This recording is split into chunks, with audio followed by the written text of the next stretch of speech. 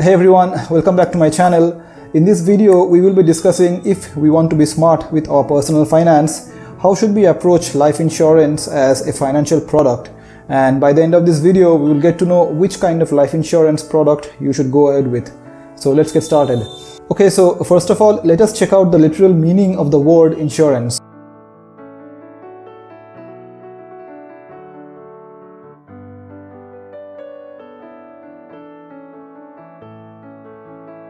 So, an insurance means an arrangement by which a company or the state undertakes to provide a guarantee of compensation for specified loss, damage, illness, or death in return for payment of a specified premium. So, in this case, since we are talking about life insurance, we are insuring the life of a person. Now, there are two points which we need to keep in mind when it comes to life insurance.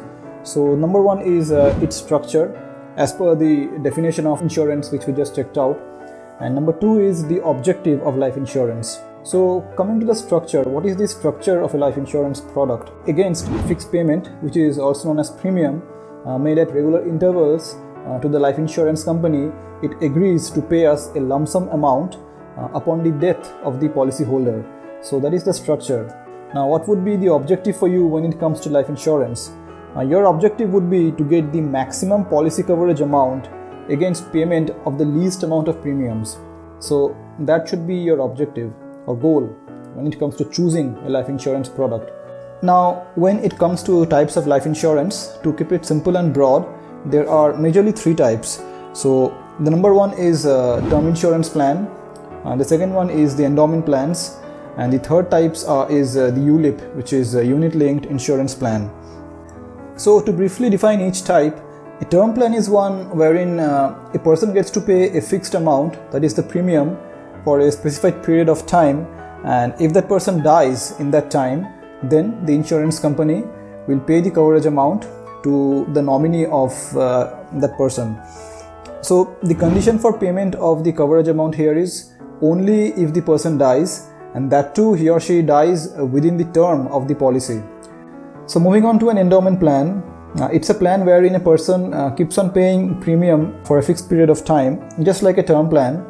But the only difference is uh, the condition for receiving the coverage amount here is not only the death of the person, but even if uh, he or she does not die towards till the end of the term, then also uh, he or she would receive the coverage amount. So let's say E again has taken endowment plan for 40 years, and if she dies in that 40 years time, she will receive the coverage amount but even if she does not die within that 40 years time, even then she will receive a lump sum amount at the end of 40 years. Now on paper and theoretically this looks great, but uh, I'll go ahead and tell why it isn't. And the number three is uh, the ULIP, that is the unit linked insurance plan. So an ULIP is basically a type wherein it combines uh, insurance along with investment. So here also you get to pay a fixed premium for a uh, specified period of time like the other two plans. But the premium that you're paying here, a part of that uh, is utilized towards investment and that investment is done in debt and equity instruments and you get to choose where that investment is done. That is an option which uh, the uh, policyholder gets to decide. And the remaining part of the premium is obviously utilized towards covering your life. Now the condition for receiving the coverage amount here is the same as that of an endowment plan. That is, if the person dies, then he or she would be receiving the amount. But even if they do not die till the end of the term plan, they would be getting a lump sum amount. But there is a difference here uh, with regards to the coverage amount that you would be receiving. So the lump sum amount that you would be receiving here would be the higher of the following two the sum assured that is the policy coverage amount or the fund value. Now what is the fund value here?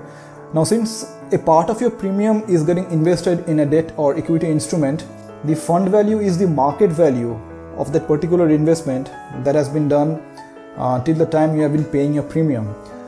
So that comes into the picture here since this is a combination of investment along with insurance. And the value of your investment will keep changing depending upon how the market performs. So that was ulip the third type. Now which out of these three uh, do i recommend and why? So remember the structure and the objective which i mentioned in the beginning of this video? So let's recap it once again.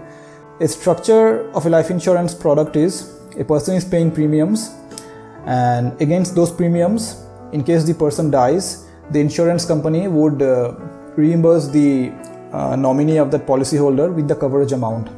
And the objective is you should get the maximum coverage amount against payment of the least amount of premiums. So that was the structure and the objective. Now if we see these three types of life insurance products only the number one that is the term plan uh, fulfills both the structure and the objective and that is the one which I recommend. In the second type that is the endowment plan, the insurance company returns the policy amount at the end of the maturity period even if the person does not die.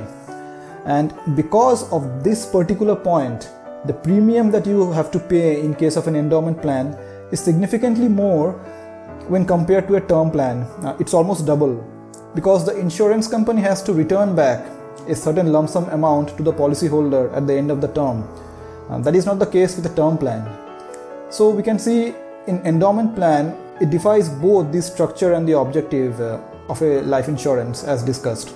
Now coming to ULIP, it's even worse because not only it does it defy both the structure and the objective, but it attempts to combine two different product types that is uh, investment and insurance and that's never a good idea. So if you want to invest, do that separately in mutual funds or equities or wherever you want. And if you want insurance, take a term plan. Do not attempt to combine both because that way you won't be able to reap the maximum benefit out of any of these two. So that is something which ULIP does and that is never a good idea and that's the reason ULIP is the worst out of these three. Now you might think that uh, in a term plan a person keeps on paying premium for a period of time and he or she does not get anything in return at the end if he or she does not die. So I'm just keeping on paying a certain amount of money to a company and I'm not getting anything in return. Yes, that's true, but then that is the very nature of insurance, uh, like we checked in the definition uh, in the beginning of this video. And even why are you expecting something in return against something you paid in a life insurance product? If you want something in return against something you're paying, that is the very nature of investment. Do that by investing in various asset classes like equity or mutual funds or crypto or startups or wherever you want. That is what investments are for. Do not do that in a life insurance product. You will be much better off if you do that separately. So let me end with an example. Say person A who is 25 years old wants a life cover for rupees 5 crore for a term of 40 years and he pays a premium of around rupees 5000 per month. Now, if the above was an endowment plan, the monthly premium would double to rupees 10000. Now you would argue that so what? Uh, in case of an endowment plan, at least I'm getting some amount on maturity. But you need to think of it this way. You go for a term plan and pay rupees 5000 per month the additional 5k that you save every month, invest that in a mutual fund or equity. The amount that you would get after 40 years would be much higher than what you would get from an endowment plan. So that should be the methodology or the lens through which you should approach insurance or specifically life insurance in this case.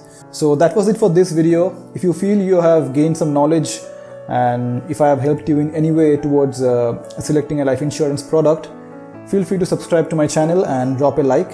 And until the next video, take care, see you, and bye bye.